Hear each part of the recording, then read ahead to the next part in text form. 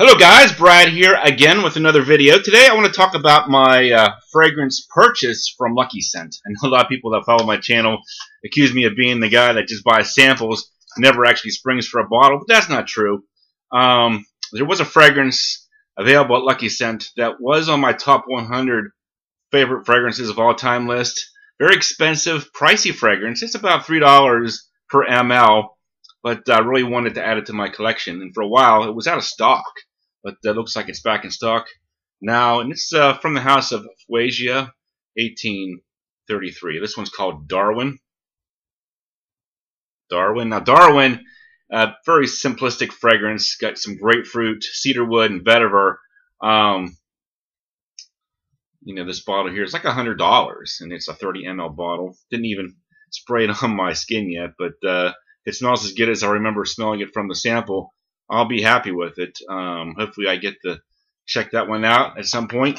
But what really excited me about this purchase from Lucky Scent uh, is the samples that they send. Now, they promised me three samples. I actually requested four, and they sent four. So I was really happy about the fact that I was able to get four samples with this purchase because these little samples can be pretty pricey as well. One that I requested was called Mancera Windwood. Again, another fragrance that uh, people weren't talking about, but uh, sounded pretty good from the note breakdown. Uh, I got one Frank Los Angeles number one. I have a full bottle of number two, which is really good, and uh, not much talk about number one. But uh, you know, if number one is even partially as good as number two, I'm excited to check that one out as well.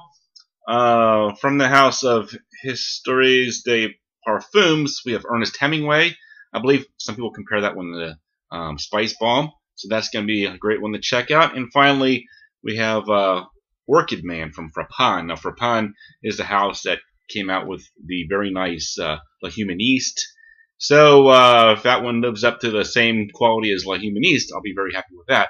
But what was really, really exciting about this purchase is uh, they had a code, and if you put the code into the promo box, um, they sent you 10 more samples, and these samples were actually manufacturer's samples. So 10 samples plus the four uh, decant samples plus the bottle for about $100. Really good deal. Now, I couldn't get the free shipping and the free samples. That would have been really, really, really good, but I was happy to get uh, the samples here. Uh, let me just show you what I got with my 10 samples here.